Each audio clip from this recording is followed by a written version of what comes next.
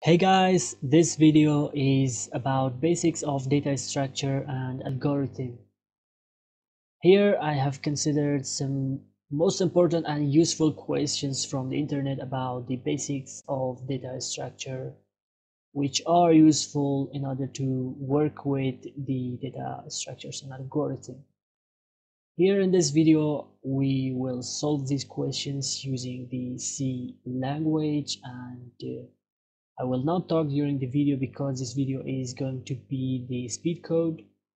So you just watch the video and enjoy till the end. And at the end of the video I want you to provide your feedback in the comment and let me know whether this method of coding is useful and whether you like this or not.